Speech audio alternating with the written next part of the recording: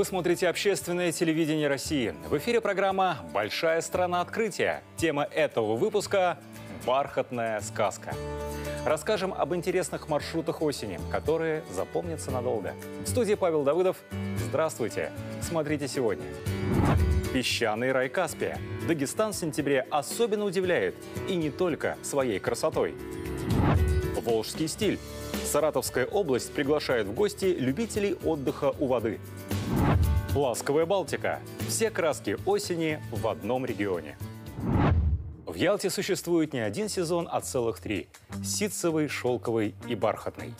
Ситцевый самый продолжительный, самый неинтересный и самый тихий. Шелковый сезон более нарядный и богатый, но бархатный сезон – это золотые дни для Ялты. О ценах никогда не спрашивают. Так писал Александр Куприн в рассказе под названием «Винная бочка». Один из самых известных прозаиков 20 века часто бывал в Крыму и вдохновлялся его красотой, особенно в осенний период. Существует предположение, что словосочетание «бархатный сезон» возникло в конце 19 века, когда осенью на полуостров съезжались курортные отдыхающие, которым был показан здешний климат для лечения и оздоровления. Царская семья тоже часто бывала там в это время – и творческая интеллигенция тянулась на полуостров, а принадлежащие к ней художники и поэты нередко облачались в бархатную одежду. Отсюда и название. Но в любом случае, этот период на курортах один из наиболее благоприятных и красивых, потому что это настоящая бархатная сказка. Об этом сегодня и расскажем вместе с моими коллегами из разных регионов. Ну и, конечно, в завершении выпуска побываем в Крыму. Но начнем мы с Дагестана, потому что берега Каспийского моря уникальны в любое время года. Но именно в сентябре и начале октября мягкий климат и теплая вода делают отдых незабываемым. О песчаном рае Каспия Юлия Власкина. Пение цикад, шум прибоя и пьянящий зной южного лета. Это размеренный отдых на берегу Каспийского моря, самого крупного на планете закрытого водоема с соленой водой. Стоит ли ехать на побережье Каспия за пляжным отдыхом? Чтобы понять это, мы отправляемся в Республику Дагестан. Еще каких-то пару лет назад большинство россиян отдых на Каспийском море всерьез не рассматривали, и я в том числе. Во-первых, потому что это не совсем море, а скорее озеро, пусть даже и самое большое в мире. Во-вторых, туристическая инфраструктура до недавнего времени здесь была мало развита. Да и строгие нравы мусульманской республики многих пугали. Но все изменилось буквально на глазах, и это, конечно, фантастика.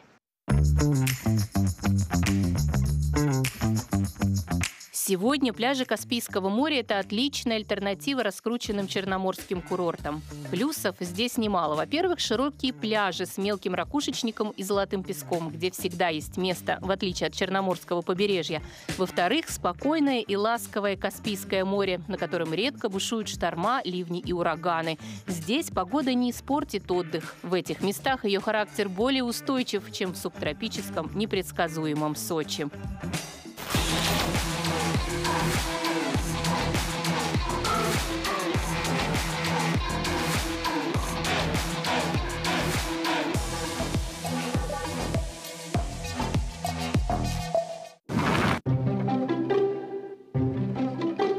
Еще один плюс – невысокая стоимость отдыха. Цены на проживание как в отелях, так и в небольших гостевых домах на порядок ниже, чем на Черноморском побережье. Здесь будет комфортно как большой семье, так и туристам, ищущим активных приключений. Всего в паре часов езды от моря находится невероятной красоты достопримечательности горного Дагестана. Что касается ограничений в одежде для туристов, это скорее рекомендация. Внешний вид отдыхающих на пляже здесь точно такой же, как на любом другом морском курорте. Купаться в закрытой одежде в Дагестане никто никого не заставляет. В Дагестане есть несколько курортных мест. Одни из них крупные, такие как Дербент, например. Другие известны только местным. Мы сегодня расскажем и покажем каждый из них. И первой на очереди столица Дагестана.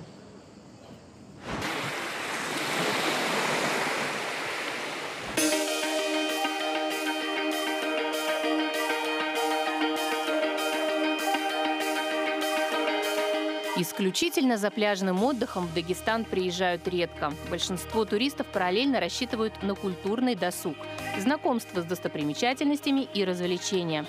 Столица республики в этом смысле подходит идеально. Тут вам и море, и вечерние променады с ресторанами, модные выставки, музеи и театры. В Махачкале столичная атмосфера парадоксально сочетается с пляжным отдыхом. Тут даже Ленин указывает на набережную. Махачкала, она э, очень пестрая, своя, своеобразная, э, неповторимая, обладает уникальной атмосферой и более того, она может удивить э, людей всех возрастов. В Махачкале очень много мест для молодежи, в общем-то, кофеин, есть несколько театров. Это не только русский театр, лакский, кумыкский, аварский. У нас также есть театр оперы и балета, кукольный театр и театр поэзии. И у нас проходит не только, к примеру, постановки на русском и на национальных языках, но также проводятся концерты классической музыки. Главная улица старого центра – это улица Борятинского. Сегодня она носит название улица имени Буйнакского. Она идет вдоль прибрежной полосы и повторяет ее изгибы. Эта улица интересна тем, что это, наверное, э, единственная улица в нашем городе, которая э, более-менее сохранила свой исторический облик. Ранее она называлась Борятинская, сегодня улица называется Буйнакского. Э, и это была главная улица в дореволюционном еще тогда Порт Петровске. И, соответственно, здесь находились, в общем-то, главные сооружения в нашем городе. Здесь были дома купцов, зажиточных граждан, здесь было здание аптеки, первый первый кинотеатр появился именно здесь. В советское время даже говорили, если хочешь кого-то встретить, иди на Буйнакского. И знаете, я это сам на себе проверил, я очень часто встречаю здесь знакомых. Так что эта улица обладает каким-то, знаете, во-первых, уникальной и своеобразной атмосферой, во-вторых, каким-то, я не знаю, магнетизмом. Яркие муралы, уютные кофейни и модные арт-пространства. Все это Махачкала.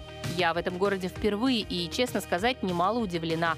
Негативные отзывы, видимо, оставляют люди, которые не были в районе старого центра. Здесь можно прогуляться по маленьким улочкам, почувствовать атмосферу южного города, зайти в этнографические центры, например, в мастерскую дагестанских ремесел, где можно увидеть авторские работы местных мастеров. бывает, что просто проходящие. Даже бывает, кто-нибудь один из группы или из семьи, если семьей прогуливаются, один человек подходит, смотрит, смотрите, здесь красиво, и потом спускается. Тоже очень часто что-то покупают, на мастер-класс записывают, тоже приходят потом. Э, бывает, мы сидим, работаем, они просто вопросы задают, на телефон поснимают, э, пофоткаются на зоны, даже в платках, по пахах могут пофоткаться и уходят с такими приятными и теплыми впечатлениями. Но мы же обещали показать разные курорты Дагестана, поэтому сразу после Махачкалы отправляемся в Каспийск.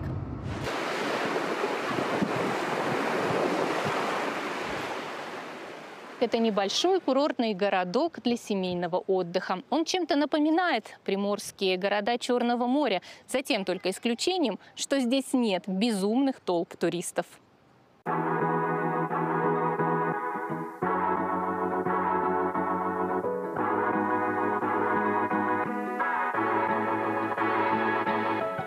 Каспийск – это небольшой городок с населением чуть больше 100 тысяч человек. В последнее время он стал очень популярен у туристов во многом благодаря удобному расположению недалеко от аэропорта, всего в паре десятках километров от Махачкалы.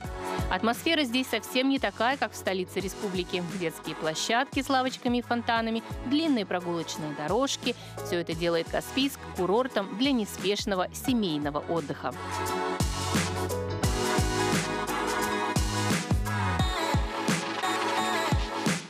Город Каспийск – это очень уютный, красивый городок на берегу э, Каспийского моря. Я коренной житель города Каспийска, я родился и вырос в этом городе, я его очень люблю. Э, город Каспийск, э, я думаю, в первую очередь привлекает э, своими э, пляжами, поскольку в городе имеется сразу несколько пляжей. Город достаточно спокойный, уютный, и он прекрасно подходит для, скажем так, отдыха, Каспийск чем-то неуловимым напоминает Новороссийск. Возможно, потому что здесь располагается Каспийская морская флотилия. И, кстати, День военно-морского флота здесь всегда отмечают с большим размахом.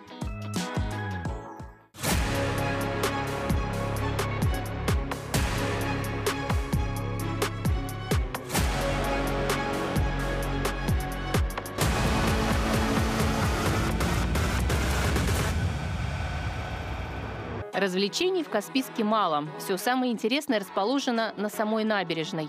Есть любопытная достопримечательность – знаменитый цех номер 8, который в народе называют «Дагестанский форт Боярд».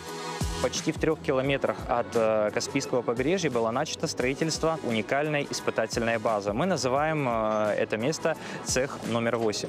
Э, база начала функционировать уже в конце 30-х годов, но в середине 60-х годов она была списана с заводского баланса, потому что изменились требования к испытанию торпед. Поэтому с 60-х годов объект заброшенный, но тем не менее он продолжает продолжает оставаться и является неотъемлемым э, постоянным символом нашего города, наш цех номер 8.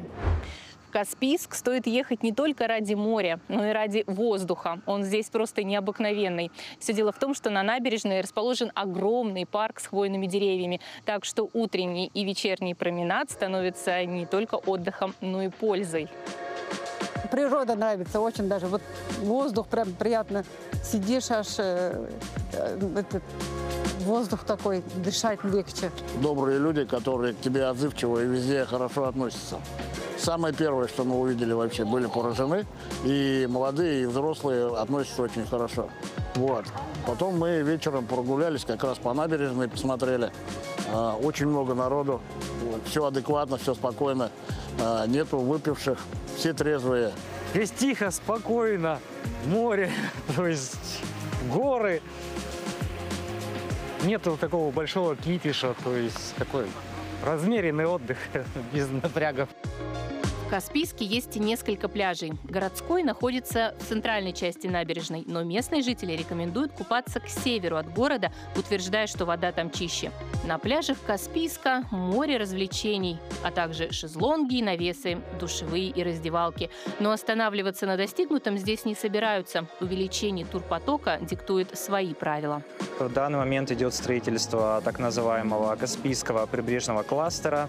Планируется строительство большого количества количество гостиниц, благоустроенных территорий. И все это южнее города Каспийска, вплоть до города э, Дербента. Так что надеемся, что в этом направлении будут э, изменения, и у нас появится более благоустроенная э, необходимая инфраструктура с необходимыми пляжами и местами для отдыха, ну и, конечно же, гостиницами.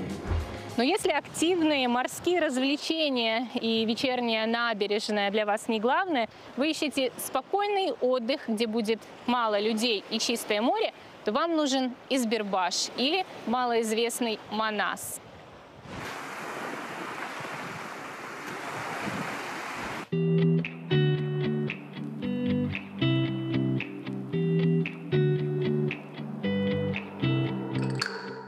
Самая чистая вода и самые большие пляжи. Еще недавно Избербаш был маленьким и тихим поселком, но за последние годы сильно разросся. А летом тут даже случаются пробки из-за наплыва отдыхающих.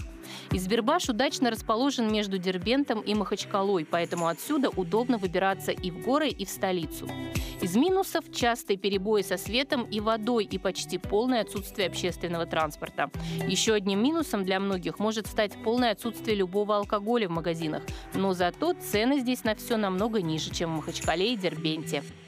А в каком месте вы любите больше купаться, отдыхать? У нас есть э, пляж, э, который мы называем у маяка. Это территория на окраине города. Там, конечно, особая атмосфера, там очень чистая вода. И в детстве, когда мы туда ездили э, с семьей на машине, очень часто можно было там наблюдать плавающих в море тюленей. Поэтому поехать на море на маяк – это для меня нечто особенное. Сегодня увидеть каспийского тюленя вряд ли получится. Эта нерпа занесена в Красную книгу и рядом с пляжами не обитает. Фраза «тюленей отдых» в Дагестане в последнее время ассоциируется совсем с другим понятием. Но в любом случае туристам здесь будет на что посмотреть и чему удивиться. Отдых на Каспийском море надолго останется приятным воспоминанием.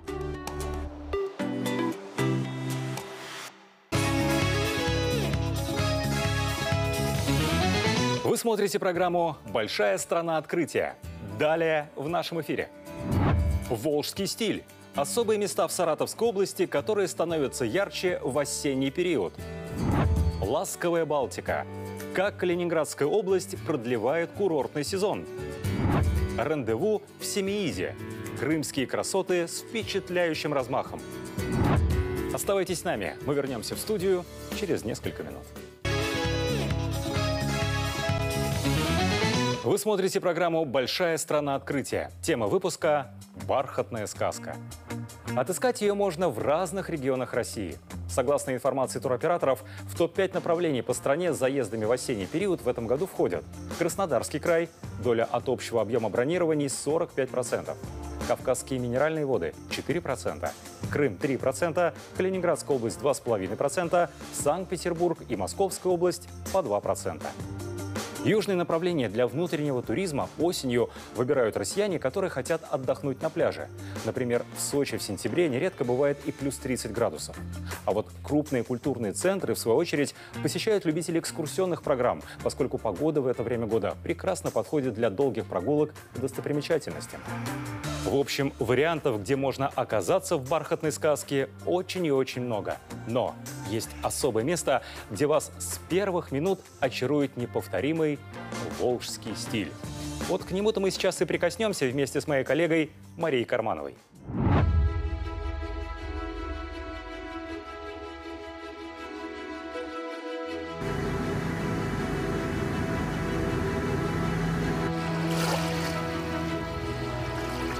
Волга, широкая в зоне водохранилища и узкая в исконном русле, сегодня делит Саратовскую область пополам. Исторически именно она была главным источником жизни в этих местах, основной транспортной артерией, господство над которой определяло успех населенного пункта. Самые зажиточные села и старинные города появлялись здесь, вдоль Волги, в то время как вокруг еще лежали незаселенные и опасные земли дикого поля – по мере освоения региона Волга стала ответственной за снабжение центра страны золотом полей, зерном, а речники обособились в отдельную касту. Здесь, на Саратовской Волге, даже появилось особое региональное название лодки – «гулянка». Такой транспорт был во многих волжских семьях и хозяйствах. С ней были связаны и рыбный промысел, и передвижение по реке, и впечатление от речного отдыха. Сегодня тем гулянкам ставят народные памятники. Речное судоходство значительно изменило облик, но местные не перестали быть волжанами.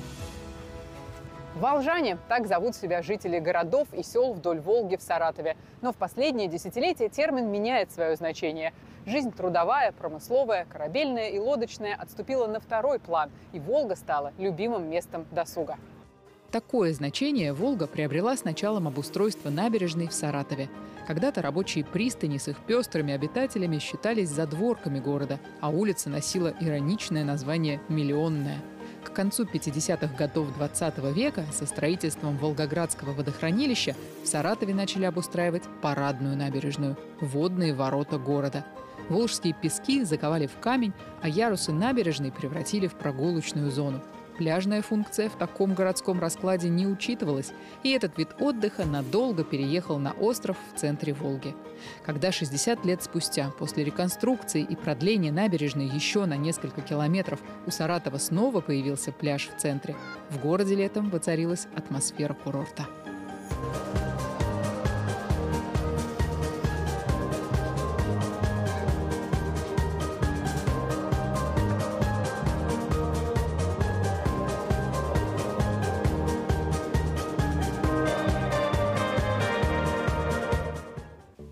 Старая саратовская набережная космонавтов, впрочем, ничуть не утратила своего значения. Улица вдоль Волги была названа так спустя год после полетов Юрия Гагарина, а следом и Германа Титова в космос. И река, на которой приземлились оба, сыграла особенную роль – Первый космонавт планеты с высоты узнал волжские просторы, над которыми осваивал еще полеты на самолете. Сегодня на месте его приземления над Волгой открыт парк покорителей космоса, а туристам доступны веловодные маршруты.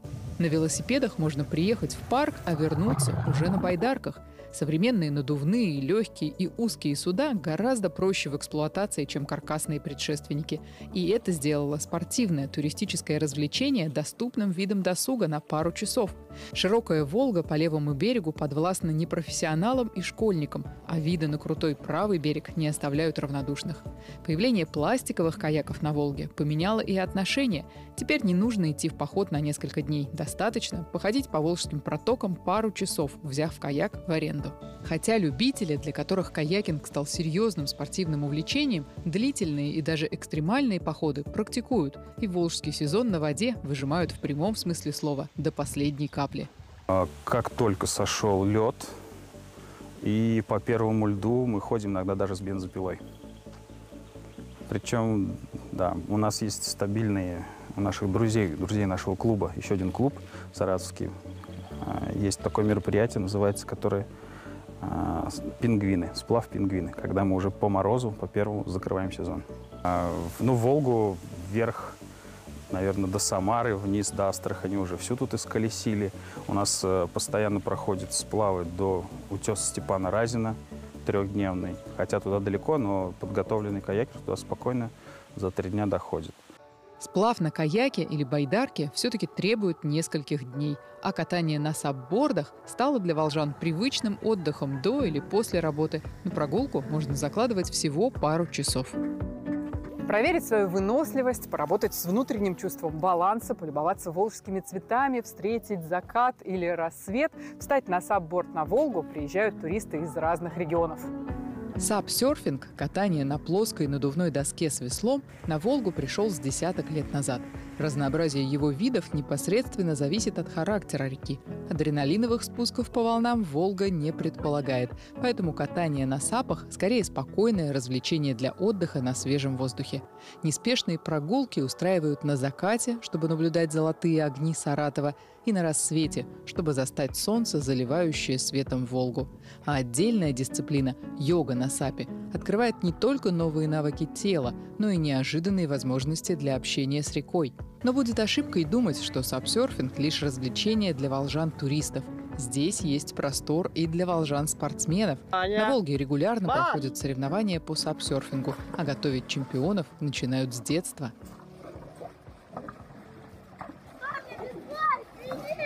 Мы сделали там первые свои соревнования в 2019 году, в 2020, 2021. Ста- С 2020 года стали проводить соревнования э, городские уже в Саратове на Новой набережной. Параллельно задумались о росте своих спортсменов. А, Поработали немного со взрослыми. Со взрослыми оказалось работать сложнее, потому что, как правило, взрослый человек, он там завязан на каких-то своих там проблемах, там это работа, семья и так далее. Ну и решили, что все-таки мы на- на- уйдем в детский спорт. Дети уже подходят к Волге с другой точки зрения, не просто там отдых, полежать на песке, но уже как э, там, спорт, преодоление себя. Это поколение уже будет не просто так, что там лето Волга это пойти пожарить шашлыки, но лето Волга это уже там какой-то спортивный отдых.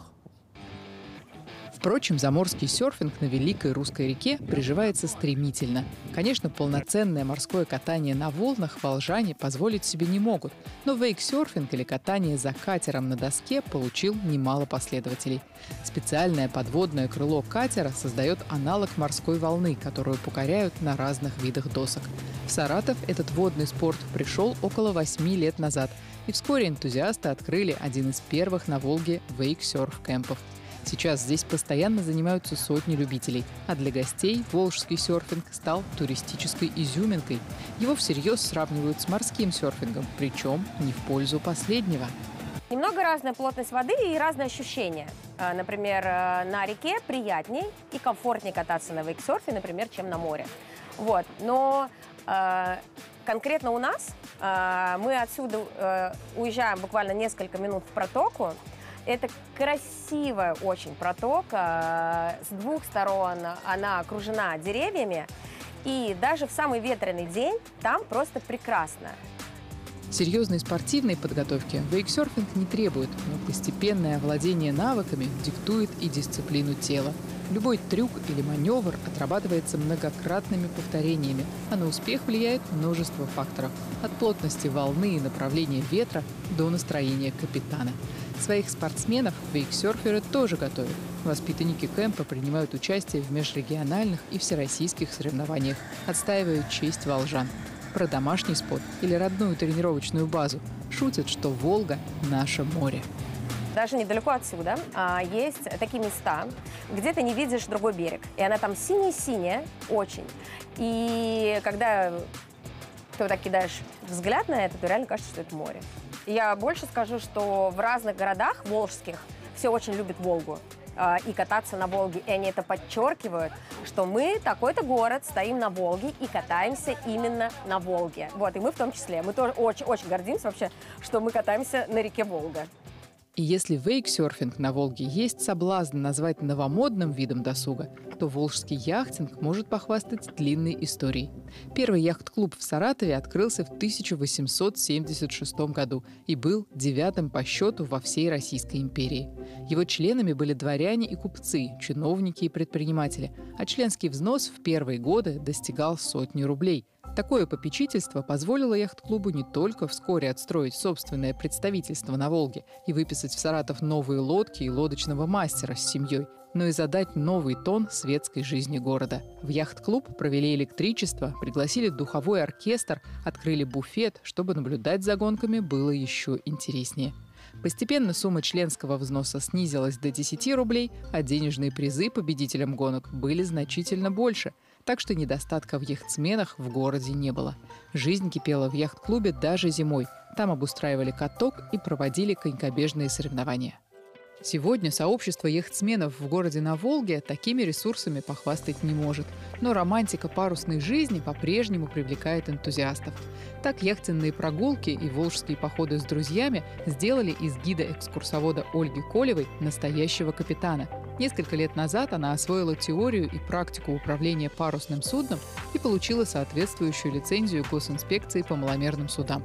Своей яхты у нее нет, но в гостях у других капитанов она чувствует себя уверенно.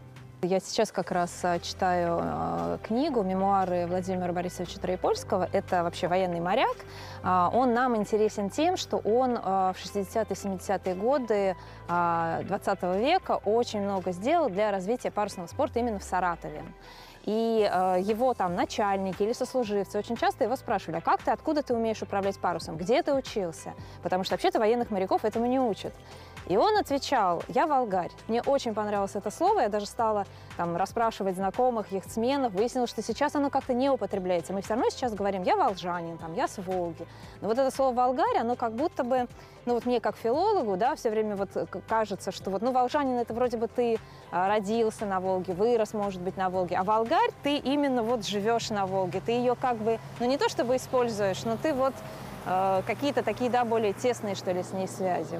Связи волжан с рекой, безусловно, переживают сегодня трансформацию. Новые виды досуга меняют наши привычки, а запрос на здоровый образ жизни влечет горожан на Волгу за активностью и ментальным балансом. Инфраструктура загородных баз отдыха наглядно отражает это движение. На реке сегодня можно найти места на любую аудиторию, от бюджетных кемпингов до круглогодичных гостиниц. Запрос на внутренний туризм только подогревает это предложение. В Саратовскую область все чаще приезжают, чтобы увидеть Волгу в ее многообразии. Бескрайние песчаные косы и каменистые пляжи, тенистые сосновые берега и степные дали, крутые обрывистые утесы и пологие заливные луга. Волжане мы или волгари, Волга-река или море, доска для того, чтобы медитировать или для того, чтобы крутить финты. Мнения могут быть разными, но спорить о таком в теплое время года на Волге совершенно не хочется. Гораздо приятнее коллекционировать яркие моменты свидания с рекой, которые и местного жителя, и любого туриста делают немного волжанином.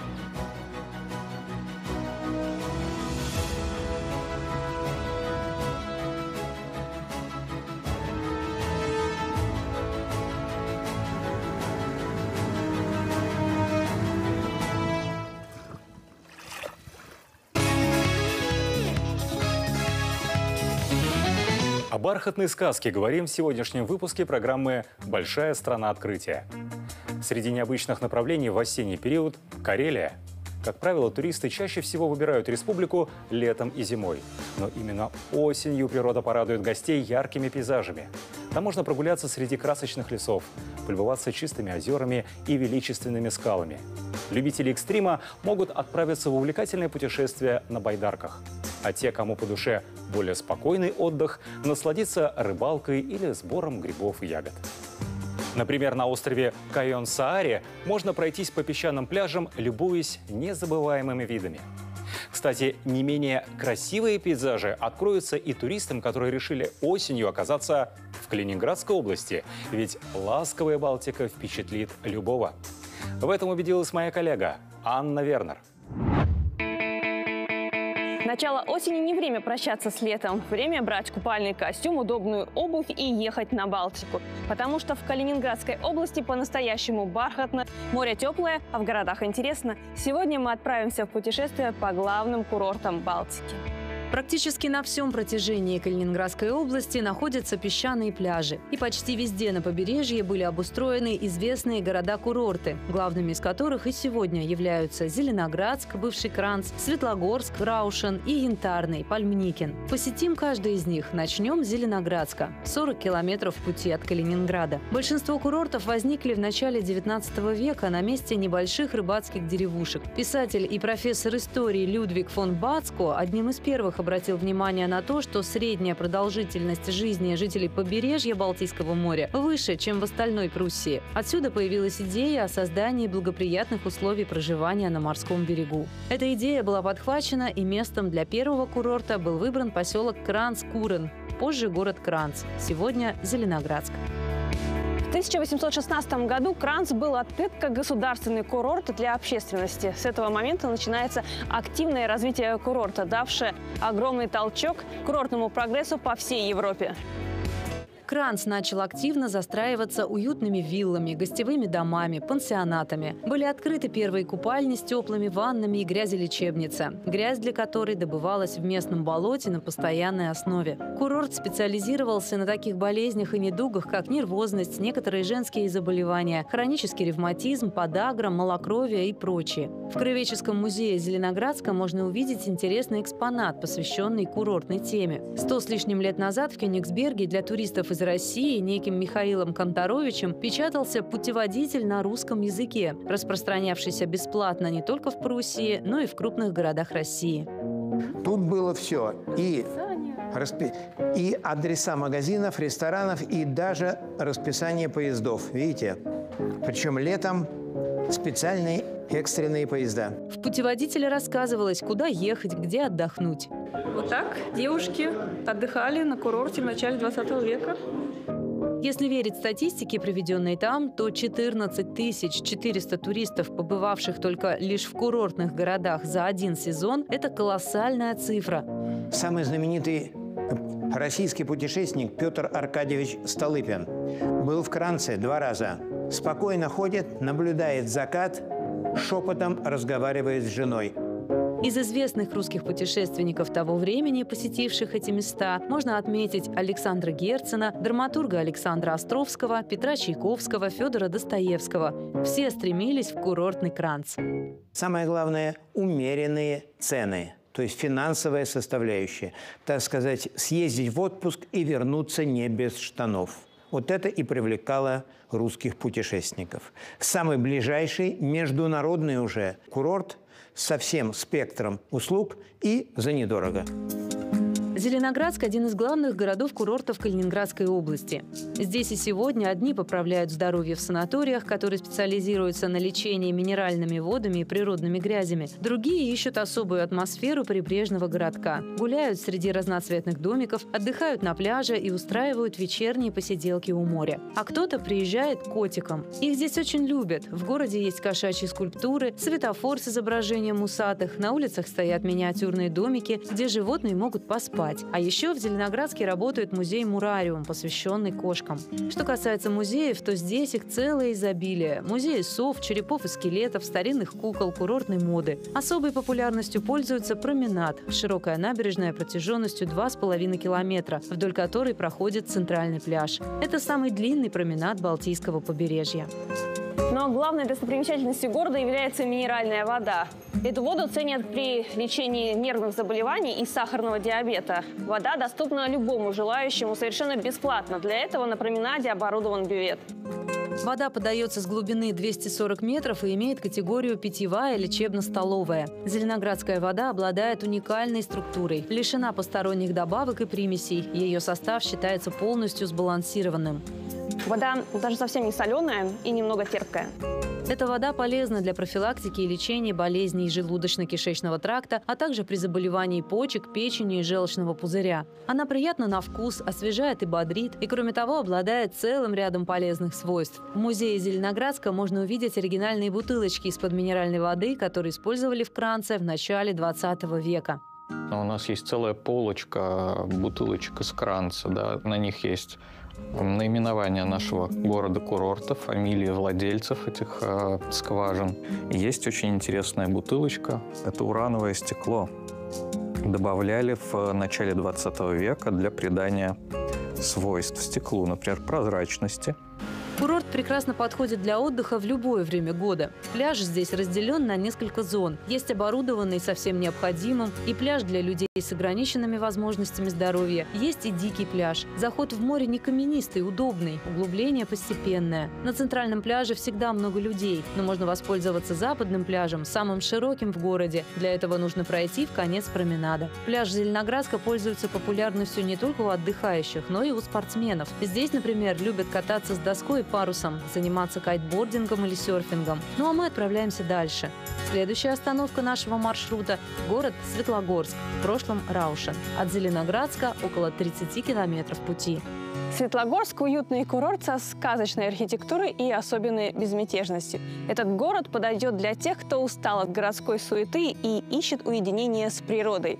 Правда, в курортный сезон уединиться получится только в определенных местах. Отдых в Светлогорске спокойный и оздоровительный. Город славится обилием разнообразных санаториев. В здравнице успешно проходит лечение пациенты с заболеваниями системы кровообращения, органов дыхания, пищеварения и нервной системы. Светлогорск – курорт для тех, кто любит кардио. Нужно быть готовым к тому, что придется частенько подниматься и спускаться, так как высота в некоторых местах достигает 40 метров над уровнем моря. Официальное открытие курорта Раушен состоялось 24 июля 1820 года. Первыми отдыхающими были уважаемые семьи из Кёнигсберга. Эти люди создали общество благоустройства Раушена и построили здесь курортный город, про который путешественники вскоре стали говорить «маленькая Швейцария». И лучшие виллы были построены, было много условий, как, например, что ни одна из вилл не должна была повторяться. И, конечно, Э, очень важным условием был экстерьер, то есть чтобы люди даже вот от того, что они увидят э, на улице, чтобы даже это уже вот давало им отдохновение. Вслед за многочисленными виллами Раушен был активно застроен гостевыми домами. Появлявшиеся новые кварталы приобретали лиричные названия – «Волшебный лес» или «Ласточкин парк». Курорт подстраивался под состоятельных граждан, в конце концов став самым дорогим на побережье. Как и Зеленоградск, Светлогорск тоже является известным оздоровительным курортом с минеральными источниками и лечебными грязями. В 1908 году здесь была построена водонапорная башня высотой 25 метров и здание морской водолечебницы. Комплекс строений до сих пор является визитной карточкой города. В Светлогорске даже воздух особенный. Он насыщен йодом и минеральными веществами и очень полезен для людей, страдающих заболеваниями щитовидной железы и органов дыхания. Светлогорск стоит на прибрежных холмах. Спуски к морю крутые, но хорошо оборудованы. Погулять у моря можно, спустившись по центральной лестнице, канатной дороге или на лифте. Мы спустимся на лифте. Светлогорский лифт – это лучшие виды Балтийского моря и самый быстрый способ оказаться на променаде. Идеальное место для фотосессий на фоне безбрежной синевы Балтики. Цена вопроса – 100 рублей. С помощью лифта мы оказываемся внизу уже через считанные секунды. Первый прогулочный променад был построен в начале 20 века. Тогда, как и сегодня, это самое популярное место города. Уютная набережная протяженностью свыше одного километра, соединенная с пляжем каменными лестницами, была украшена различными скульптурными композициями аттракциями. Самая известная из них – «Нимфа» Германа Брахерта. Для тех, кто приехал в город на поезде, прямо у вокзала будет удобен спуск с помощью канатной дороги. Первый рельсовый фуникулер был построен в Раушине в 1908 году, а в 1988 была сооружена пассажирская канатная дорога, которая работает и сегодня, доставляя людей на набережную. Живописная природа города всегда притягивала сюда творческих людей – художников, писателей и скульпторов. Собственно, город привлекает художников и сегодня. У нас и зимой, и летом, во все времена э, года проходят пленеры, и московские школьники приезжают, и питерские, и художники-любители, и художники-профессионалы, чтобы запечатлеть магию этого места. После прогулки в Светлогорске отправляемся на поиски янтаря в поселок Янтарный. 20 километров пути от Светлогорска, 50 километров от Калининграда. Название «Янтарный» не случайно. В поселке сосредоточено около 90% мировых запасов янтаря. Здесь его добывают. Солнечный камень можно найти повсюду. В море, в песке, на ярмарке мастеров, которая расположена в парке на побережье. Парк тоже достопримечательность. Здесь высажены редчайшие виды деревьев, доставленные из Японии и с американского континента. Тут растет бук, липа, ели и сосны. Уникальным растением считается тюльпановое дерево. Именно его признали символом этого прекрасного места. Главным достоянием парка считают аллею лип, которая расположена в северной части. Что касается буков, то их возраст превышает 300 лет. Широкие песчаные пляжи, живописные закаты, янтарь – все это притягивает отдыхающих в янтарный со всех уголков России. Здесь можно найти янтарь и остаться навсегда. Из четырех официальных пляжей, расположенных на территории Янтарного, два подтвердили международный знак отличия – экологическую сертификацию «Голубой флаг». На променаде работает программа «Доступная среда» для маломобильных групп населения. Все пляжи благоустроены и оснащены информационными щитами, кабинками для переодевания, душевыми стойками, лежаками, многим другим. Как и на прочих пляжах области, здесь под ногами не камни, а белоснежный мягкий песок. Огромной популярностью пользуются пешеходные прогулки по морскому променаду протяженностью 2 километра. По всей линии оборудованных пляжей работают многочисленные кафе, бары или клубы. Если вам нужна тишина, то здесь ее не найти. Но можно отправиться на дикий пляж, есть и такой. Янтарный – это поселок, который живет и днем, и ночью.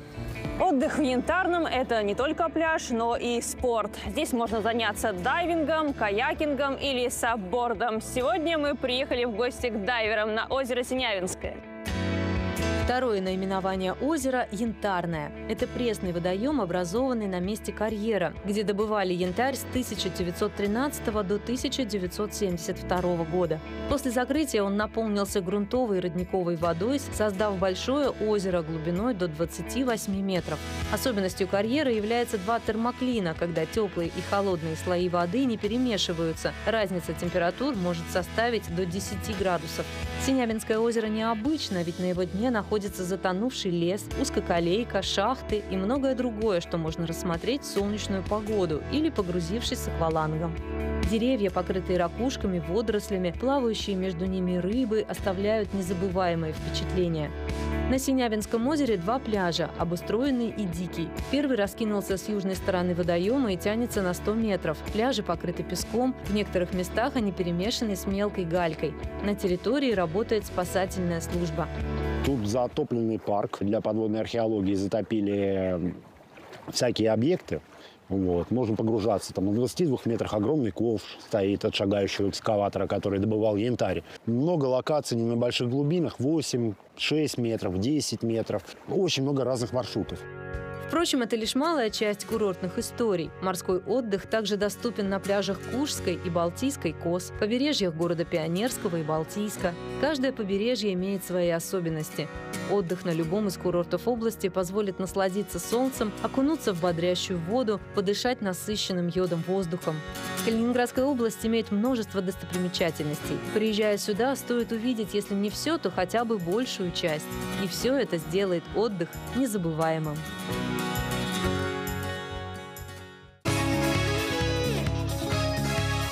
В эфире программа «Большая страна открытия». Тема этого выпуска – «Бархатная сказка».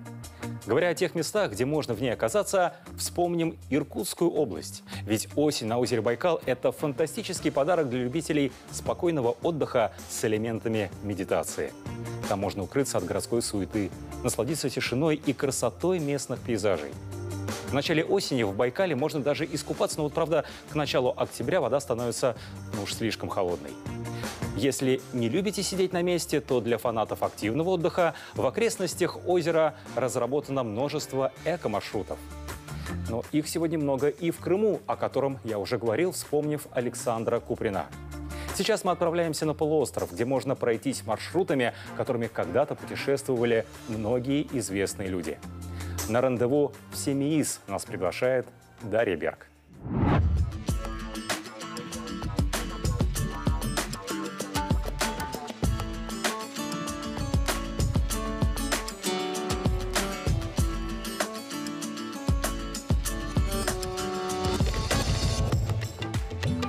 Только его не называют, и здравница для аристократов, и памятник природы, и археологический пирог, и музей архитектуры под открытым небом. Все это о Семизе, такой маленький колоритный поселок на южном берегу Крыма, затерявшийся среди прекрасных гор и омываемый бирюзовыми волнами Черного моря. Райский уголок, не иначе.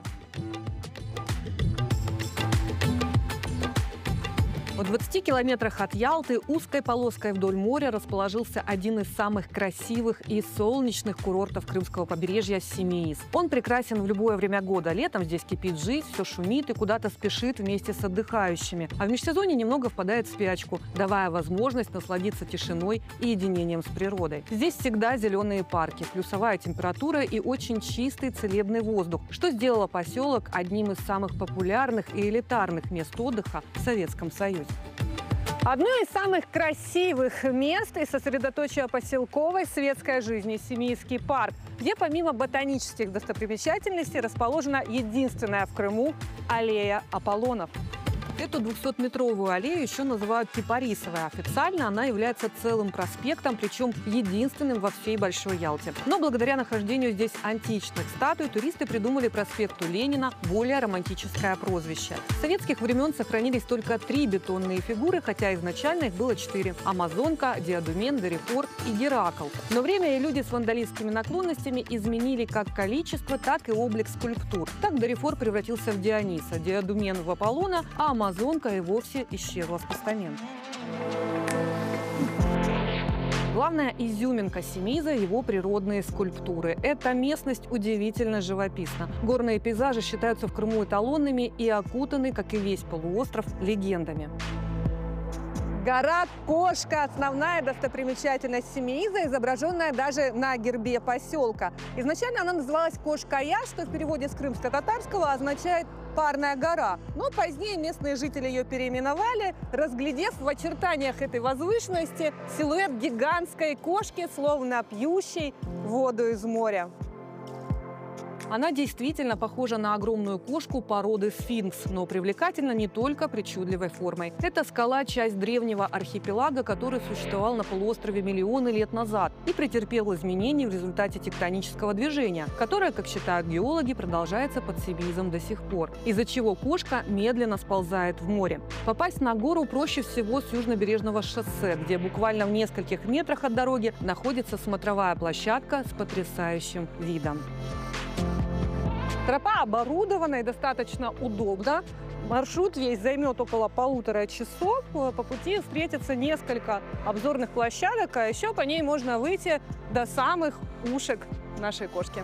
Окруженный горами и утопающий в зелени Семиис получил статус климатического курорта еще в начале 20 века. С тех пор, как наследники разорившегося промышленника Мальцова превратили маленькую деревушку, выкупленную татар в 1824 году Дмитрием Нарышкиным, в престижный аристократический курорт. Генерал-майор, шталмейстер, чиновник Государственного совета Николай Сергеевич и его брат полковник лейб-гвардии кавалергардского полка Иван Сергеевич, прежде чем распродать землю по частям русской знати, разработали генеральный план и по уму благоустроили поселок. Сделали разметку улиц, построили дороги, провели освещение, водопровод, канализацию, открыли почту, телеграф, причал, разбили великолепный парк. Конечно же, новомодная и престижная для того времени инфраструктура сразу же привлекла потенциальных инвесторов, благодаря чему в поселке появилось около 60 роскошных вилл, сохранившихся до сих пор. А это вилла для настоящих буржуа. Пансион московской семьи Александровых Дольников был построен в 1914 году на средства, выигранные в лотерее. Для благородной публики здесь было все самое современное. И умывальники в каждом номере, и автономное электричество, и теннисный корт, и, как писали в рекламе того времени, невероятный шведский стол. Доходный дом проработал 4 года, а его владельцы уж точно вытянули фартовый билет. Ведь в 1918 они успели продать имение, сохранить свои жизни и даже остаться в России. После революции пансион продолжил работу, но уже как санаторий Приморье. Вообще, э, пансион Александровых Дольник – это отличный пример того, как преемственность э, сохраняет культурное наследие. Ведь если посмотреть, э, не только снаружи у виллы прекрасная сохранность, но еще и внутри. Обратите внимание и на фурнитуру, дверь в стиле модерн, на печи, на лепнину потолка, оригинальный паркет, оригинальный ковер метлахской плитки в фойе. Все это дышит историей, все это э, бережно сохраняется на протяжении многих-многих лет и, конечно, внушает нам надежду, что Семис еще свои золотые времена увидит. Должен был стать самым новым, перспективным и пафосным аристократическим курортом южного берега Крыма. Однако по велению судьбы превратился в одну из крупнейших здравниц советского периода, где роскошь, построенная дворянами для дворян, в одночасье стала доступна любому работающему гражданину, казалось, нерушимого и единого союза. Лишь природа вечна, как показала эта столетняя история. Все то же бирюзовое море, те же таинственные скалы и чарующая красота вокруг, принадлежащая всем нам, из какой бы эпохи мы ни были.